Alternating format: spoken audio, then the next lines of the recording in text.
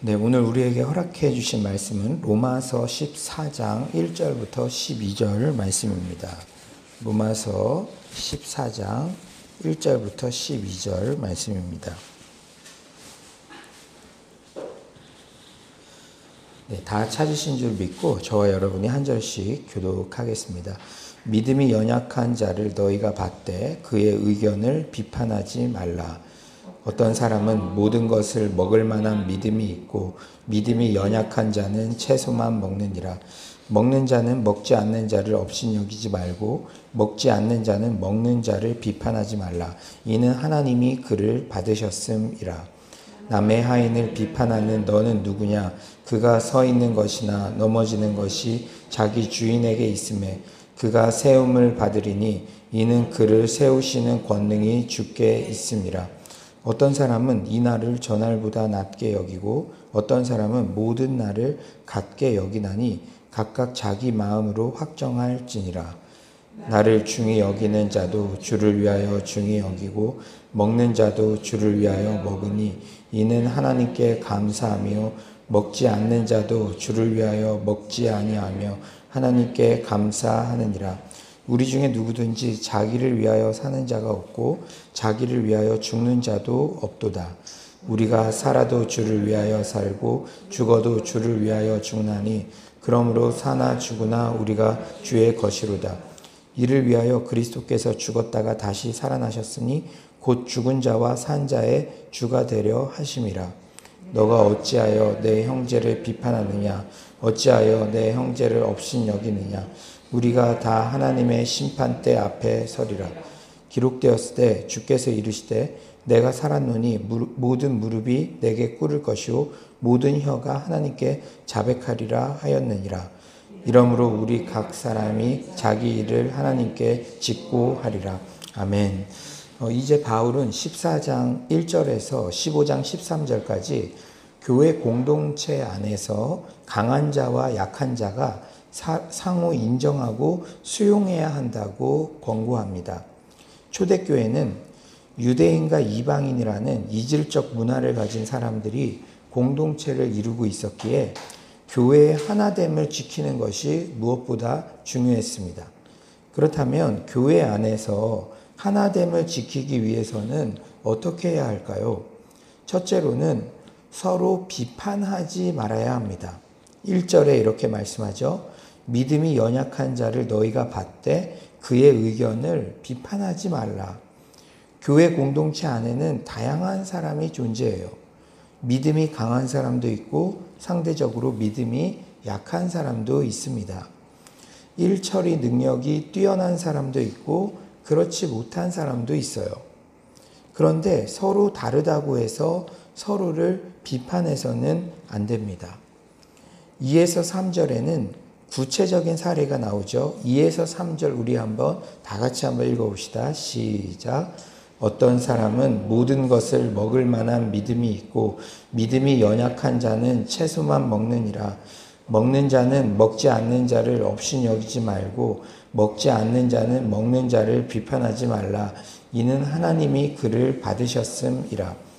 유대인이 보기에는 율법을 따르지 않는 이방인들이 이방인이 보기에는 율법에 얽매여 자유가 없는 유대인들이 믿음이 연약한 자로 보였을 수도 있어요. 자신의 관점에서. 어떤 사람은 세상 참신은 궁극적으로 하나님밖에 없으므로 제사상에 오른 음식도 그냥 하나도 거리낌 없이 먹을 수도 있습니다. 하지만 어떤 사람은 그런 음식 먹기를 꺼려하며 채소만 먹을 수도 있어요. 그런데 3절은 서로 업신여기거나 비판하지 말라는 거예요. 어떻게 이런 믿음도 없냐? 또 이것도 못 먹냐? 업신여기지 말고 또한 어떻게 저렇게 부정해 보이는 음식을 먹냐? 비판하지도 말라는 그런 권고예요. 그 이유가 무엇입니까? 하나님께서 믿음이 강해 보이는 자나 약해 보이는 자나 다 받으셨기 때문입니다. 우리는 진리에 대해서는 한치의 타협도 없이 강직하지만 비진리에 대해서는 물처럼 유연할 필요가 있어요. 제가 서울로 목양을 하면서 늘 강조하는 것이 있습니다. 최선을 분명 알고 있더라도 하나됨을 방해한다면 저는 언제나 차선을 선택할 준비가 되어 있습니다. 제가 지난 2년 6개월 동안 부임해서 어, 모든 성도님들이 이 마음을 따라주셨어요. 근데 그것이 어떤 개인적인 마음이 아니라 오늘 로마서 말씀을 보면 성경적인 것이라는 것을 알 수 있잖아요. 여러분 잘 아시다시피 한국 사회는 좌우로 극심하게 갈려 있습니다. 그런데 더욱 안타까운 것은 마치 이 초대교회 때 이 유대인들과 이방인 그룹들이 나뉘어져 있었던 것처럼 교회 안에서도 지금 분열로 시름시름 앓고 있는 그러한 모습들이 너무나 안타까워요. 너무 안타까운 것은 대부분 비진리 문제 때문에 이게 옳으니 저게 옳으니 따지다가 분열되는 거예요. 우스갯소리로 피아노 위치 그대로 둘 것인가, 50cm 옮길 것인가, 회의하다가 교회가 둘로 갈라진다고 하지 않습니까? 그대로 파와 옮겨라 파. 우리가 정말 잘 분별해야 합니다. 어떤 이유가 되었든 교회의 하나됨을 방해하고 분열을 조장하는 것은 악한 짓입니다. 마귀라는 단어의 어원은 분열시키는 자, 이간질시키는 자라는 뜻이에요. 마귀는 하나님과 인간 사이를 이간질시키고 성도와 성도 사이를 이간질시킵니다. 그러므로 우리는 교회 공동체에서 무엇보다 성령이 하나 되게 하신 것을 힘써 지키는 것이 중요하다는 사실을 명심하시기 바랍니다. 뭐라고요? 성령이 하나 되게 하신 걸 힘써 지키는 것. 내가 우리 사랑방 안에서 또 우리 성도님들 안에서 우리 가정 안에서 부부 관계 안에서 하나 되게 하신 것을 힘써 지켜야 돼. 그게 힘드니까 그게 힘이 필요한 거니까 힘써 지키라고. 우리의 본성 가운데는 믿음 없어 보이는 사람, 능력 없어 보이는 사람들은 업신여기고 또 뭐 좀 잘 나가는 것 같은 사람들에게는 이 얼굴 앞에서 바로 얘기는 못하지만 우리 마음 가운데는 비판하는 마음들이 도사리고 있어요. 뭐 그렇게 잘났다고. 그러나 하나 되게 하신 것을 힘써 지켜야 돼요. 우리가 비판하지 아니하는 것에서부터 하나됨의 시작이 된다는 사실을 여러분 명심하시기 바랍니다. 두 번째로는 우리가 어떻게 하나 될 수 있는가? 외형적 모습만으로 판단하지 말고 그 동기와 마음을 헤아리고 존중해 줘야 된다는 거예요. 이 6에서 8절 우리 한번 다 같이 한번 읽어볼까요? 6에서 8절입니다. 시작. 나를 중히 여기는 자도 주를 위하여 중히 여기고 먹는 자도 주를 위하여 먹으니 이는 하나님께 감사하며 먹지 않는 자도 주를 위하여 먹지 아니하며 하나님께 감사하느니라. 우리 중에 누구든지 자기를 위하여 사는 자가 없고 자기를 위하여 죽는 자도 없도다. 우리가 살아도 주를 위하여 살고 죽어도 주를 위하여 죽나니 그러므로 사나 죽으나 우리가 주의 것으로다. 우리는 어떤 사람의 외형적으로 드러나는 행동만으로 내 스타일과 다르니까 배척하고 틀리다고 여기면 안 돼요. 우리는 항상 동기의 순수성, 즉, 이 행동들이 주를 위하여 한 것인지 분별해야 합니다. 그래서 살아도 주를 위하여, 죽어도 주를 위하여, 먹어도 주를 위하여, 안 먹어도 주를 위하여 했다면 그 행동 하나하나는 자유로울 수 있어요. 5절에 이렇게 말씀하시죠. 어떤 사람은 이 날을 전날보다 낮게 여기고 어떤 사람은 모든 날을 같게 여기나니 각각 자기 마음으로 확정할지니라. 어떤 사람들은 유월절, 초실절 등의 절기를 더욱 중요하게 여길 수 있고 어떤 사람은 다른 날들과 다 똑같이 여길 수 있어요. 그런데 바울은 이것은 본질적인 일이 아니므로 그냥 자기가 정한 대로 확신을 가지고 충실하면 된다는 거예요. 어떤 사람들은 제가 늘 우리 청년들에게도 그런 말, 말씀 많이 드립니다. 청년들이 올 때, 야, 너희들 때는 뭐 신앙이 형식이 뭐가 중요해? 내용만 중요하면 되지. 그런데 너 그거 잘 명심해라.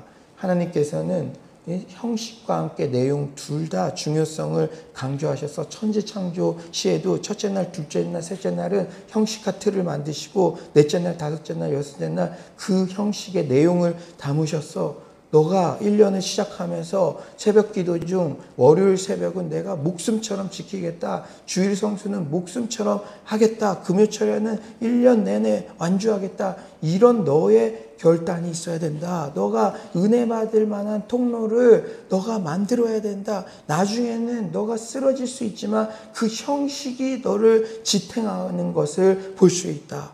참 그런 것 같아요. 제가 목사라는 이 직분이 있기 때문에 이 직분에 맞게 기도하려고 애쓰고 참 그런 생각 제가 겸손하게 들 때가 많습니다. 아, 내가 가장 부족하니까 하나님께서 나를 목회자로서 이렇게 딱 틀에 어 가두어 놓으셨구나. 이런 감사한 마음이 들 때가 있어요. 사랑하는 여러분, 그러나 내가 그 새벽 기도에 월요일에 완주하겠다. 수요일에 완주하겠다. 금요일에 완주하겠다. 야, 너 무조건 월요일 날 완주해. 이렇게 할 필요가 없다는 거예요. 본인이 하나님 앞에 정했으며 그 확신을 가지고 그 안에서 주를 위하여 그 일을 각자가 감당하면 된다는 것입니다. 사랑하는 여러분, 이게 옳으니 저게 옳으니 이렇쿵 저렇쿵 따질 것이 없다는 거예요. 우리의 삶에서도 내가 먹으나 안 먹으나 그게 주를 위하여 한 행동이면 자유할 필요가 있습니다. 나랑 스타일이 다르더라도 타인이 먹으나 안 먹으나 주, 주를 위하여 한 행동이라면 옳고 그름을 논할 이유가 없어요. 제가 어떤 어, 그 아티클을 본 적이 있는데요. 한 선배가 이렇게 후배 부부에게 조언하더라고요. 여러분 잘 들어보세요. 부부 사이에서는 옳고 그름을 따지는 게 중요한 게 아니라 계속 부부 관계를 유지하려면 과거는 덮고 가는 게 중요하다.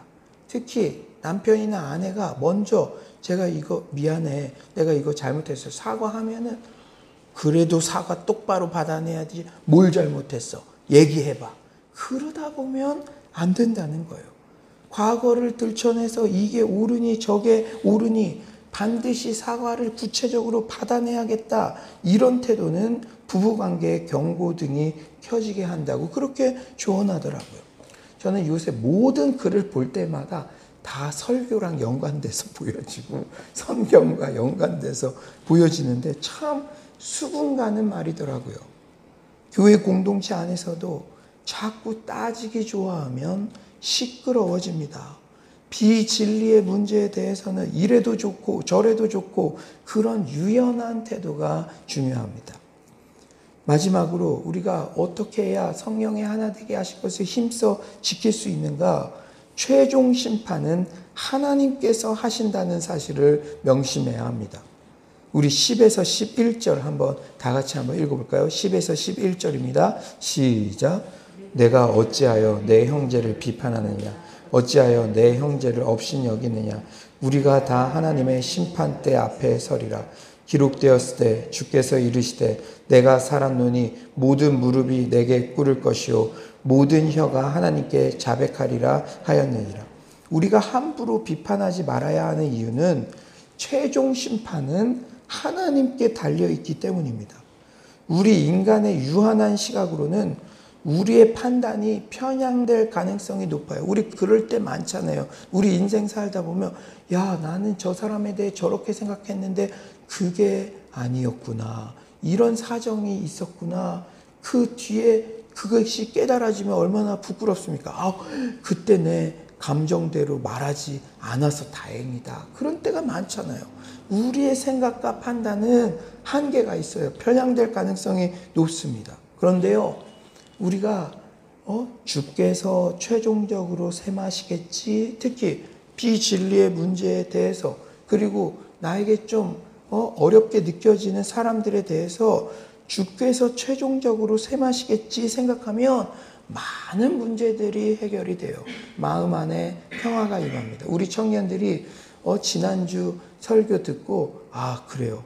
이 마음이 집중하지 못하고 분주한 게 비교하기 시작할 때부터 들어온다는 게 새롭게 깨달아졌다 그러고 진짜 맞다고 그런 말 하더라고요. 여러분, 상대방이 더 하나님께 사랑, 사랑받는 것처럼 느껴지고 뭔가, 어, 이렇게 나한테 처한 대우가 부당한 것 같고 그럴지라도 우리 마음 안에 계속 그것을 집중하고 막 그게 나를 사로잡고 그렇게 마음을 내버려 두지 마시고 주께서 샘하시겠지 따라해 봅시다. 주께서 샘하시겠지. 마음 관리에 승리해야 돼요. 그렇게 생각하면 많은 문제들이 해결되고 마음의 평화가 회복되죠. 또한 우리가 함부로 비판해서는 안 되는 이유는 비판하는 그 순간 우리가 하나님의 자리를 넘보게 되기 때문입니다. 4절이죠. 남의 하인을 비판하는 너는 누구냐? 그가 서 있는 것이나 넘어지는 것이 자기 주인에게 있음에 그가 세움을 받으리니 이는 그를 세우시는 권능이 주께 있음이라. 남의 하인을 함부로 비판할 수가 없어요. 예를 들어서 제가 다른 교회 가가지고 그 담임 목사님께 그 교회 성도님이 이렇쿵 저렇고 성도님들이 제가 부흥에 갔는데 그러면은 어떤 목사님이 좋아하겠습니까? 그거는 할 말이 아닌 것이죠.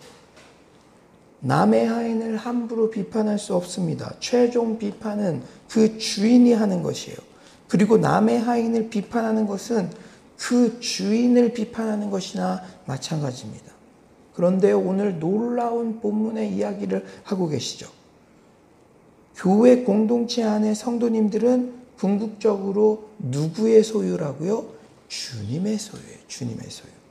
우리가 함부로 서로를 비판하여 자신이 하나님 자리에 서서도 안 되며 하나님을 비판하는 그 불경을 저질러서도 안 된다는 것이죠. 이제 말씀을 정리하겠습니다. 교회 생활을 할 때 성령의 하나됨을 힘써 지키는 것 무엇보다 중요해요. 이것은 지금 코로나19 또 여러 가지 사회적 상황으로 좌우로 분열하고 있는 어, 시름시름 앓고 있는 우리 우리들에게 주시는 교훈이 너무나 큰 줄 압니다. 그러기 위해서는 믿음이 강한 자들이 연약한 자들을 업신여기지 말아야 됩니다.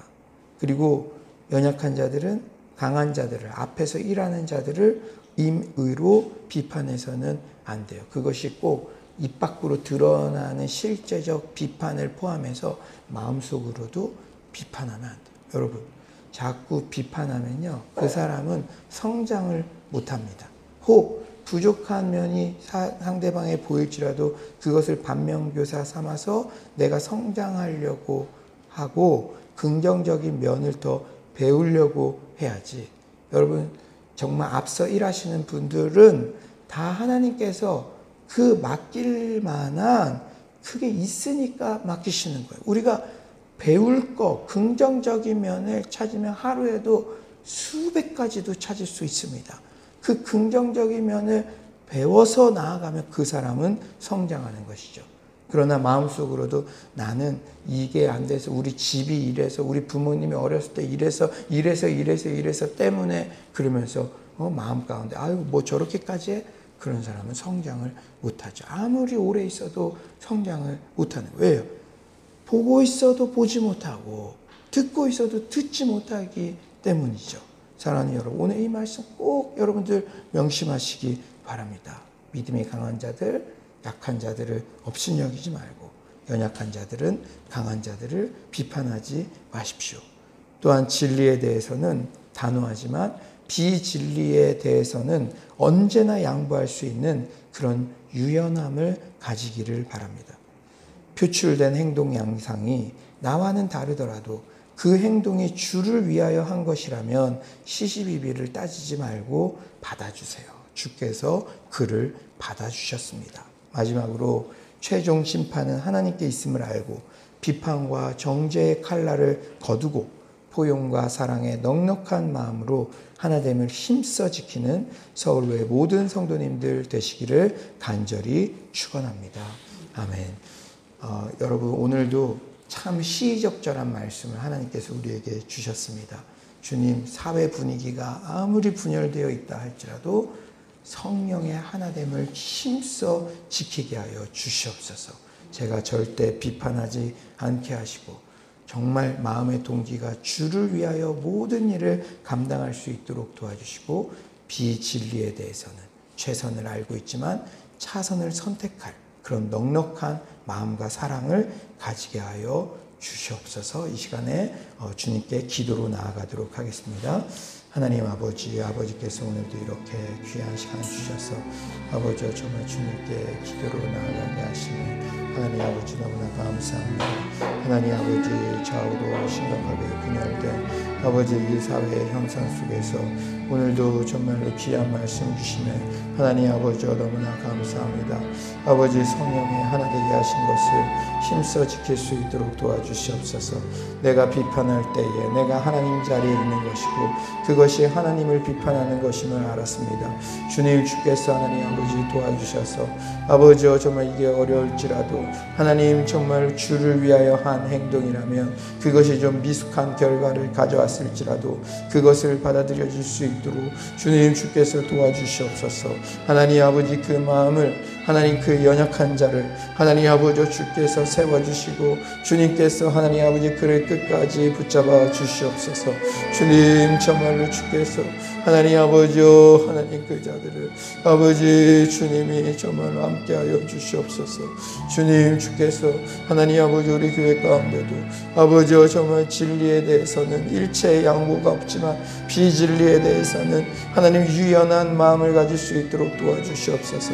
최선을 알고 있지만 비진리에 대해서는 언제든지 자선을 선택하고 용서하고 양보하고 품어줄 수 있는 하나님 아버지 그러한 마음들이 아버지 넘쳐날 수 있도록 주님 주께서 하나님 아버지 도와주시옵소서 주님 주님께서 인도할 줄 믿습니다 주여 함께 사랑의 주님, 오늘도 주님 앞에 나올 때마다 하나님께서 가장 적절한 말씀 주셔서 너무나 감사합니다. 오늘 이 말씀 받은 대로 오늘 하루 성령의 하나 되게 하신 것을 힘써 지키는데 애쓰게 하여 주시옵소서. 오늘은 특별히 정말 신약 심화 과정 그 성경 대학이 또 온라인으로 시작됩니다. 하나님 우리가 얼굴과 얼굴을 보면서 말씀을 배우면 얼마나 좋고 은혜롭겠습니까? 하지만 이런 상황도 하나님의 주권 가운데 있사오니 주님께서 일하실 것을 기대하며 우리가 말씀 앞에 든든히 설 수 있도록 도와주시옵소서. 하나님 아버지 우리가 비진리에 대해서는 최선을 알고 있지만 하나됨을 방해한다면 언제든지 차선을 선택할 수 있는 그런 용납과 그 러한 사랑이 우리 안에 넘쳐날 수 있도록 주께서 도와주시옵소서. 믿음이 연약한 자들을 없인 여기지 않고 또 앞에서 일하는 자들을 이러쿵저러쿵 불평하거나 비판하지 않도록 도와주시옵소서. 우리 서울로 공동체를 이렇게 하나 되게 하심에 감사드립니다. 우리가 얼굴을 보면서 예배드리지 못할지라도 정말로 우리가 비대면으로 예배드려도 예배드리는 분들의 모습도 보게 되고 또 댓글로 그렇게 인사하는 그 이름만 보아도 우리가 하나로 한 가족으로 연결되어 있음을 우리가 느끼게 하 심에 감사합니다. 우리는 한 몸이라는 사실을 잊지 않도록 도와주시고 오늘도 우리 모든 성도님들 전염병의 그런 위험에서 주님께서 지켜주시고 하나님 심리적으로 우울감이 있는 영혼들 오늘도 이 말씀을 통해서 회복되는 역사가 있게 하여 주시옵소서. 주님 오늘 이 말씀 성령의 하나 되게 하신 것을 힘써 지키라는 이 말씀을 붙잡고 나아가게 하시고 살아도 주를 위하여 죽어도 주를 위하여 먹어도 주를 위하여 안 먹어도 주를 위하여 우리가 얼굴과 얼굴을 보고 만날 수 있어도 주를 위하여 만나지 못해도 정말 온라인으로 만나도 주를 위하여 항상 주를 위하여 모든 것을 선택하고 믿음으로 감행하고 오히려 적극적으로 믿음의 발걸음을 내딛는 우리 모두가 되게 하여 주시옵소서. 하나님 아버지 초대교회 성도들은 잡초 같은 생명력으로 정말 예루살렘 교회에 핍박이 임하자 정말 흩어져 가면서도 전도를 했고 안디옥 교회를 개척했습니다. 그때도 전염병이 있었습니다. 주님 지금도 전염병이 있고 여러 가지 회사에서 크리스찬이라는 이유로 애매한 그러한 고난을 받을지라도 이 상황 가운데도 우리의 믿음을 더 정제하시고 단련시키시고 하나님 앞에 든, 단단하게 서게 하시는 하나님의 섭리가 있다는 사실을 잊지 않고 믿음 앞에 말씀 앞에 온전히 머물게 하여 주시옵소서. 주님께서 오늘도 큰 은혜 주신 감사드리며 예수님의 이름으로 기도드립니다. 아멘. 이 시간에 우리가 기도할 것은 우리 예고부터 가스펠 청년부까지 우리 다음 세대들을 위해서 기도해 주시고요. 제가 기도했던 대로 오늘부터 화요 어, 신약 심화 과정이 시작됩니다. 온라인으로 드리더라도 정말로 하나님의 은혜와 그러한 깨달음들이 넘치는 시간 되게 해달라고 기도하시고 12주 동안에 모든 이 상황도 종식돼서 우리가 하루빨리 얼굴과 얼굴을 만나서 진정한 말씀의 교제 나눌 수 있도록 그렇게 기도해 주시기를 바랍니다. 또한 우리가 성경 필사 또 성경 통도 말씀 앞에 머무는 그러한 시간들을 갖고 있는데 정말 그 시간을 통해서 말씀의 눈이 열리고 어, 믿음이 수직 상승할 수 있게 해달라고 기도해 주시기 바랍니다. 그리고 우리 영혼들 심리적으로 경제적으로 위축된 영혼들 주께서 그 모든 것들 회복시켜 주시고 지금도 하나님이 일하신다는 사실을 잊지 않고 나아가게 하시고 또 가스펠 프로젝트 우리뿐 아니라 지금 핏덩이들 길가에 버려진 핏덩이 같은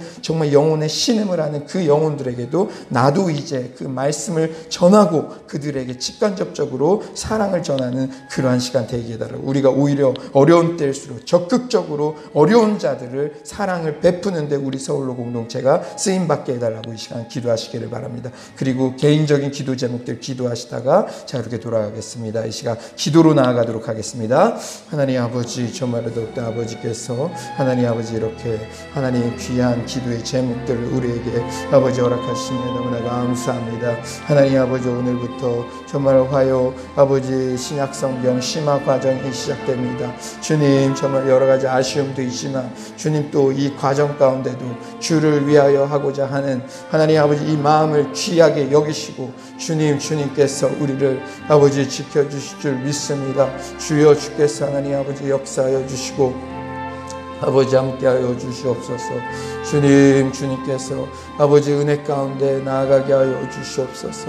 여호와여 하나님 아버지 아버지 오늘도 정말 우리가 온라인 상으로 만날지라도 하나님 아버지 그 동안에 아버지 그 아버지 정말 안부를 나누며 아버지 우리가 한 몸으로 연결되어 있다는 것을 아버지 느낄 수 있도록 도와주시옵소서.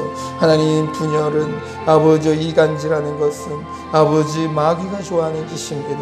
하나님 아버지 어떤 상황에서도 하나님 비판하지 않도록 도와주시고 업신 여기지 않도록 도와주시고 하나님 주를 위하여 한 그 행동들을 아버지 제가 존중하며 받아들여 줄 수 있도록 주님 주께서 하나님 아버지 도와주시옵소서. 업신 여기지 않도록 도와주시옵소서. 제 마음을 지켜주시옵소서. 주여 주께서 하나님 아버지 도와